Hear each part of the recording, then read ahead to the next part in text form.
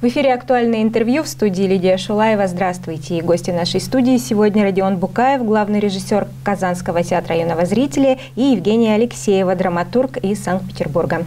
Здравствуйте. Рада вас приветствовать у нас в городе, в Сарове. И для начала а, посвятим зрителя в суть вашего визита в наш прекрасный город. Драматическая лаборатория проекта «Своя территория». Это межрегиональный проект. Что это за проект такой вообще, как давно он существует? Потому что Саров лишь в этом году впервые присоединился к проекту. Я тоже впервые, а вот у Евгении как раз есть опыт, и я думаю, что она расскажет. Я, да, боюсь немножко сбиться в цифрах, а точно, что фестиваль существует уже несколько лет. А сначала он существовал как конкурс драматургический, и драматурги писали пьесы, отправляли их а, в театр, Тарского, в Тарский театр Омской области. Вот, а про подростков на разные темы был конкурс, и отбирался шорт-лист, и потом режиссеры ставили эскизы угу. по лучшим пьесам, и самые лучшие эскизы могли предлагаться дальше в театры а Омска и Омской области как спектакли для подростков. Угу. А дальше они стали развивать эту тему, что важная часть этого фестиваля – это общение с детьми, со зрителями, с подростками после спектакля. И а, было организовано специальное обучение для психологов Омской и Омской области, как разговаривать с детьми на сложные темы, как вместе с детьми смотреть спектакль, чтобы потом а, его максимально эффективно в безопасной обстановке спокойно обсуждать.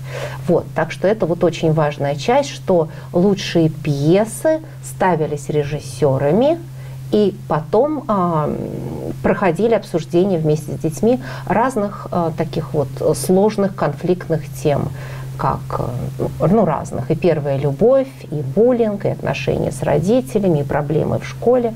Вот. А сейчас э, вот уже второй год э, лаборатория это усложняется. Теперь э, драматурги ездят в разные города и пишут вместе с детьми пьесы. То есть дети соавторы, получается? А, в некотором смысле. Наверное, правильнее сказать, что дети дают э, сюжеты. Угу. Да, то есть они такие доноры информации. Они рассказывают, они делятся историями на выбранные темы. Угу. Вот в прошлом году я писала с ребятами из Омской и Омской области про первую любовь, вот, а сейчас здесь, э, в Сарове, у нас другая тема. Какая, вот. если не секрет? А мы э, вместе с режиссером и с ребятами выбрали детско-родительские отношения. Угу. И это спектакль на эту тему будет? Ну, рано пока говорить о спектакле. Скорее, эскиз. это будет эскиз угу. спектакля. И там будет подниматься тема отцов и детей. Да. А актеры это актеры нашей драмы или детей тоже привлекаете к постановке? Тоже пока рано говорить. Если вдруг будет очень острая необходимость, наверное, мы будем просить театр, чтобы э, театр позволил нам привлечь детей, потому что, ну, как бы дети в театре это ну, такая сложная организация. Хотя это возможно. У меня в театре в Казани, например, есть два спектакля, где дети присутствуют. Не знаю, пока ничего не понятно. Мы только приехали, вот, и за четыре дня мы определились пока только с темой. А исходя из чего выбрали эту тему? Почему именно эта тема?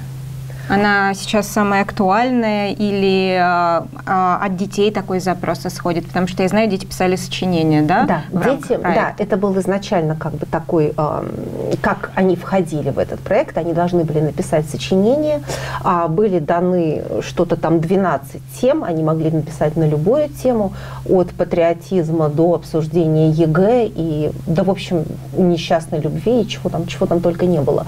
Вот, и было очень мало сочинений в Сарове, надо сказать. Поэтому мы выбрали буквально пять сочинений и пригласили также тех, кто, ну, кто еще хочет поговорить из писавших сочинения.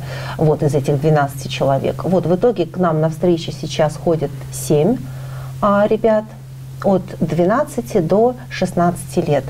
И так получилось, что тема детско-родительских отношений интересна всем. Угу. Вот, э, вот каждому из семерых детей. И также, что очень важно, она интересна режиссеру Родиону, и она интересна мне. То есть вот мы совпали в этом. В так интересно, теме. вы говорите, дети приходят навстречу. То есть у вас как-то вместе рождается спектакль? Или для чего они приходят навстречу? Они рассказывают а, свои истории, они рассказывают сюжеты. Вот э, то, что с ними случилось, то, что случилось с их одноклассниками, какие а, там были проблемы, какие были решения. Вот. Ну, мы, мы сначала обсуждали разные-разные темы. Про дружбу много говорили, про буллинг очень много говорили, про школу много говорили. Но как-то все сошлись, что про родителей им интереснее всего было бы а, вот, посмотреть на театральной сцене. Не совсем про родителей, а про взаимоотношения. Про взаимоотношения, да. Между детьми и родителями про семьи. Вот они даже одна девочка озвучила запрос, а мне было бы интересно посмотреть на э, разные семьи, да, как вот.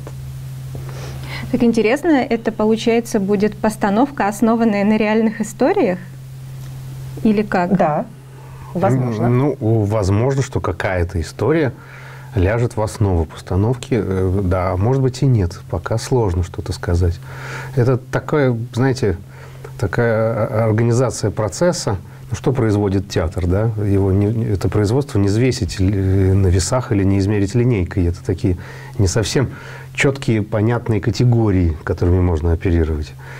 Вот. Э, тема э, уже понятна, и это хорошо.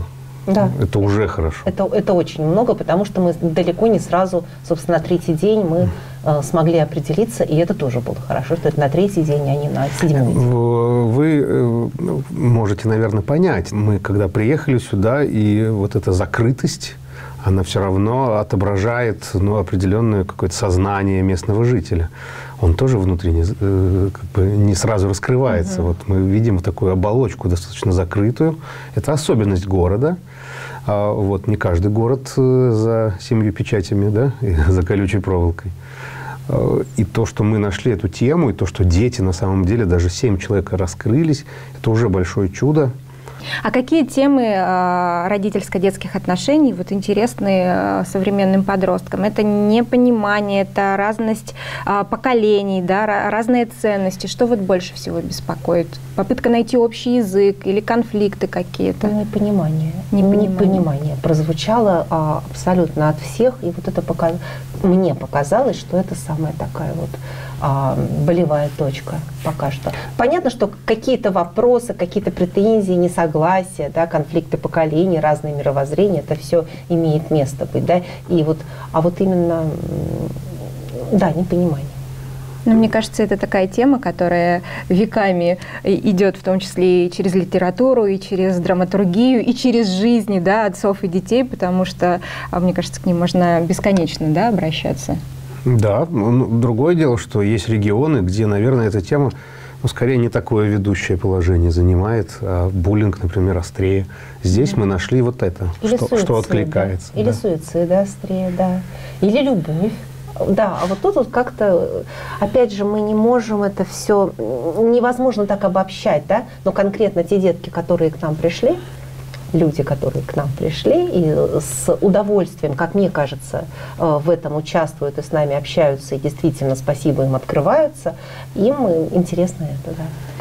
Мне кажется, я с вами разговариваю, и мне кажется, что это проект с таким легким, может быть и не легким, терапевтическим эффектом, да, потому что проговорить проблемы, а проговорить то, что беспокоит, это, наверное, для участников не просто раскрыться, да, а Э, выболить да, какую-то свою боль и может перейти на другой уровень. Безусловно. Вот, э, если честно, мне кажется, что э, крамольная такая мысль, мне кажется, что это самое а, лучше, самое, да, самое терапевтическое, потому что как работает дальше, а, очень, как дальше будет работать проект, как пойдут обсуждения, как а, будут играть актеры, как все дальше сложится, мы не знаем. Но то, что вот сейчас а, мы общаемся в безопасной обстановке, в доверительной, в такой безоценочной, а с ребятами из разных школ и, в общем-то, разных возрастов, и и мы разговариваем, мне кажется, это правда очень хорошо.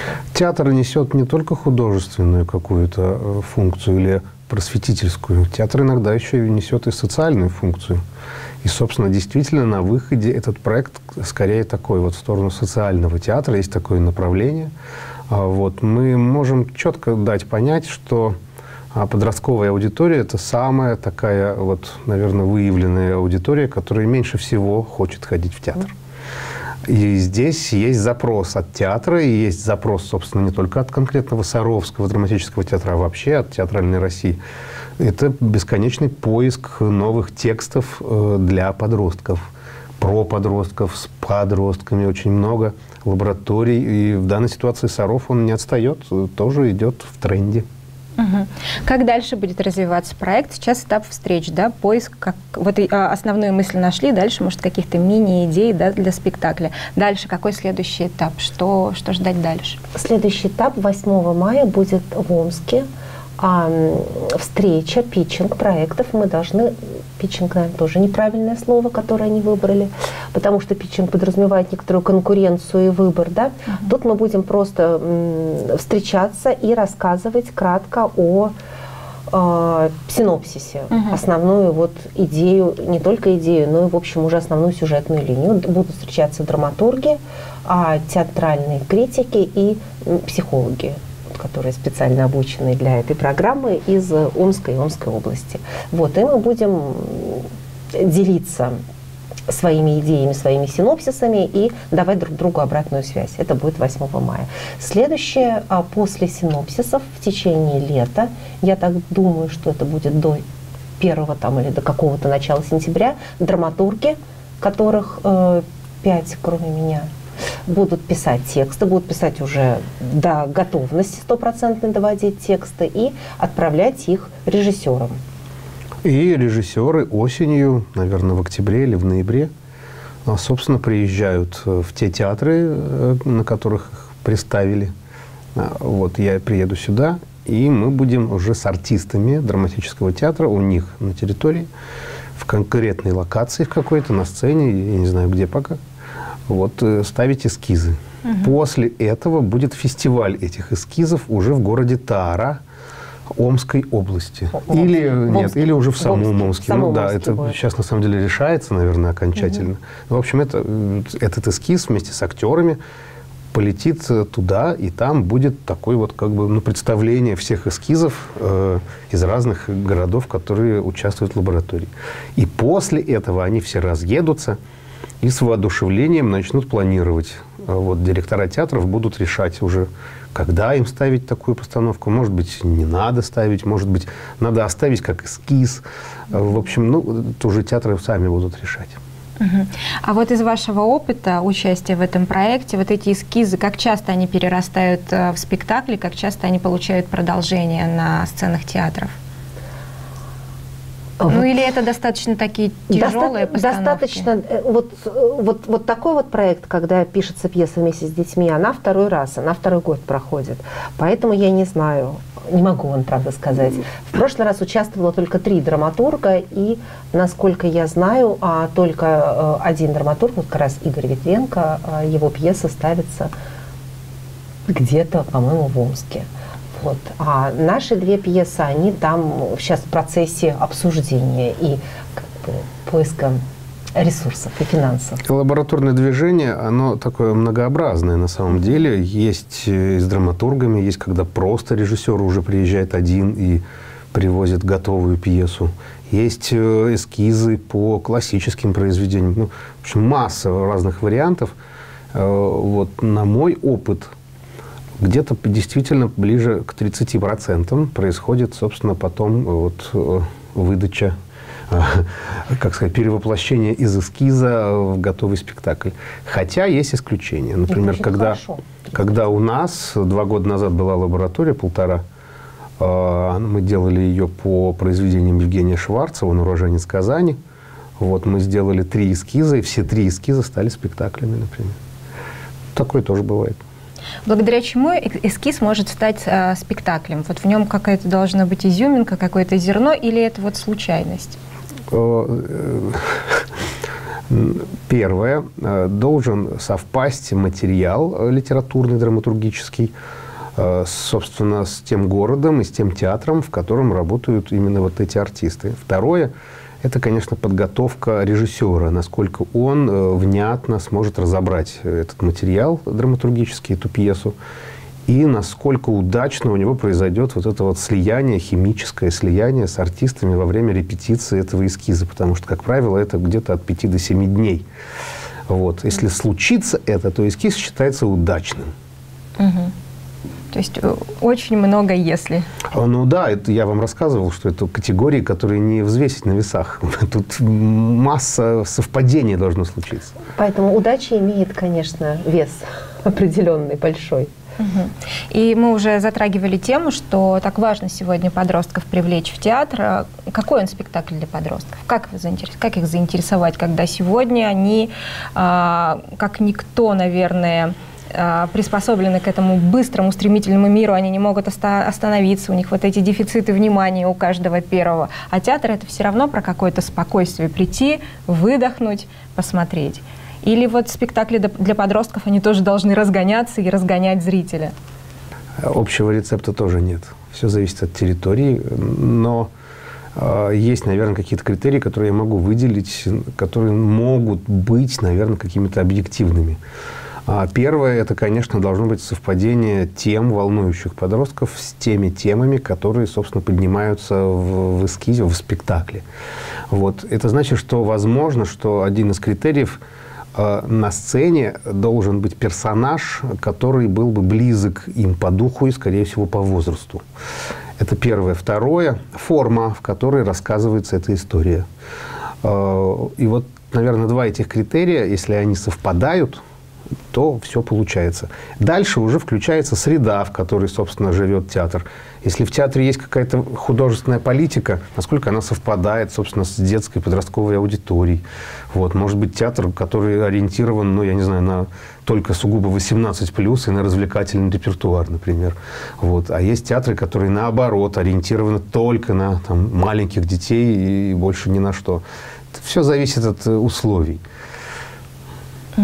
А вот вообще э, театр, точно так же, как и телевидение, последние несколько лет упорно хоронит, что в театр никто не ходит, телевизор никто не смотрит, но мы знаем по отдаче зрителей, что телевизор смотрят.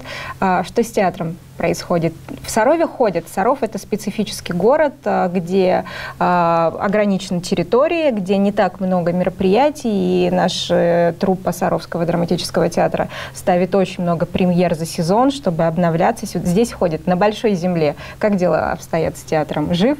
Скорее жив? Теряет аудиторию. В, в среднем где-то 3, ну, 6 процентов, это уже оптимистично, ходит в театры.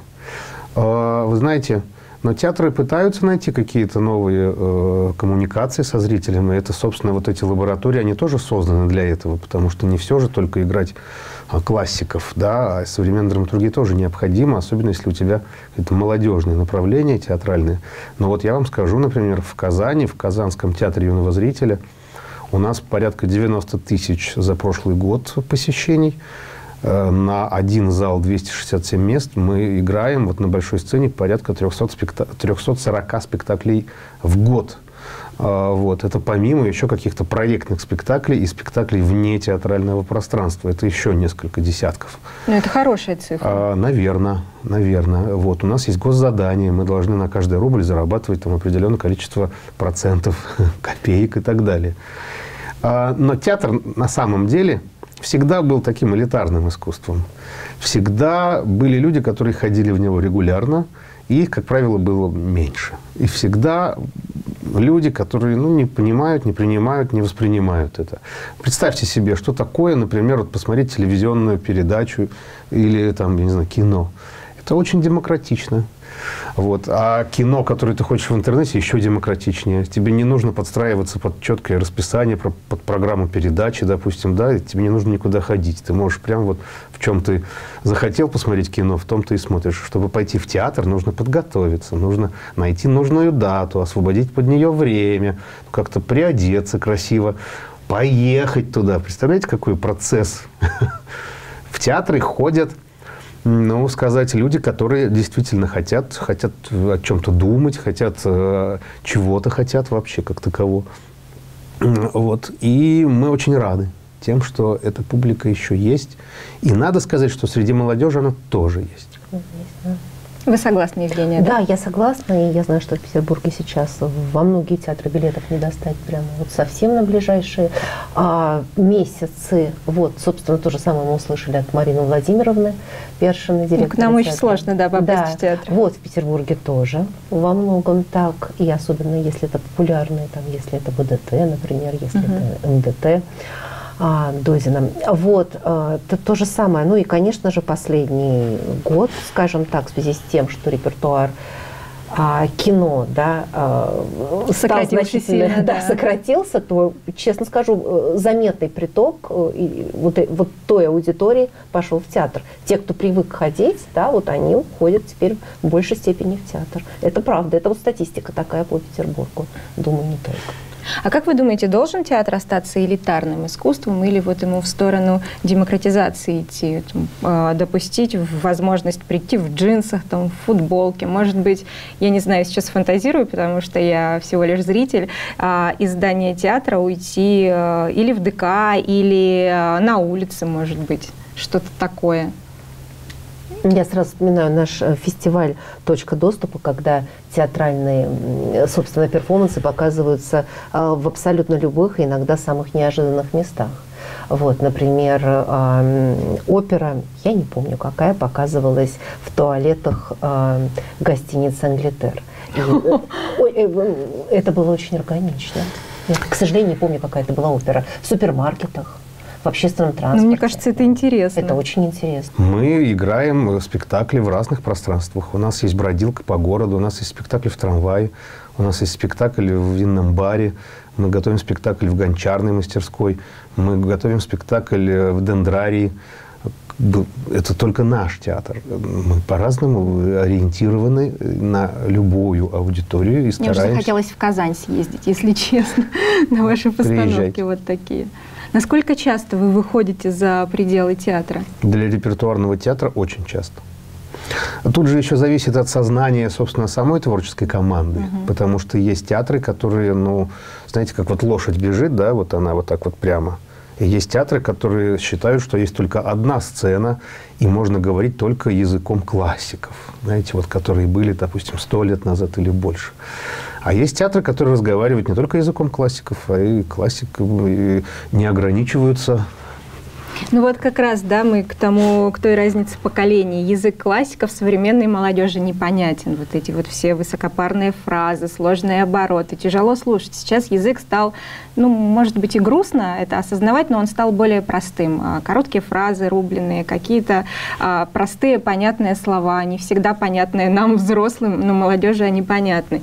Поэтому действительно те, кто держится за классику, может быть, они и теряют аудиторию, может быть, в этом и есть сложность возможность. Нет? Я думаю, что нет. Я думаю, что есть запрос и на такие спектакли, есть аудитория на классические, вот, э, классическую интерпретацию, да, вот привычную, и есть запрос на а, современную, условно современную, да, какую-то интерпретацию. То есть театральный репертуар, он должен быть как некий слоеный пирог, Мне чтобы кажется, каждый да. нашел для себя свой слой. Кажется, Верно, да. И в каждый слой должен быть очень вкусный тот эскиз, который вы будете создавать, как, как будет работать ваш тандем? Вот вы будете взаимодействовать при написании текста, при постановке э, этого эскиза? Это обязательное условие лаборатории. Раз э, у нас есть драматург и режиссер, они просто обязаны работать в соавторстве. И да. это 50 на 50 участие? Это все время плавающее. Где-то 30 на 70, где-то 50 на 50. я буду участвовать минимально, да. Вот. Но, и ну, не всегда общем... это должно быть э, как бы только в дружбе, потому что ну, рождение происходит в разных.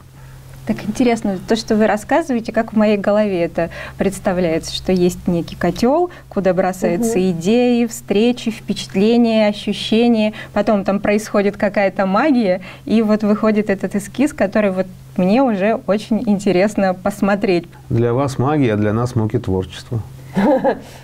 Да, Ну, я желаю вам удачи с этими муками творчества, и я верю в то, что а, мы увидим этот эскиз на сцене нашего театра и получим настоящее удовольствие. Самое главное, увидим те проблемы и, может быть, найдем как родители какие-то пути к их решению. Ну и подростки, может быть, тоже взрослых начнут понимать чуточку лучше благодаря вам и вашей постановке. Спасибо большое, что нашли время. Это было актуальное интервью. Увидимся с вами на канале 16.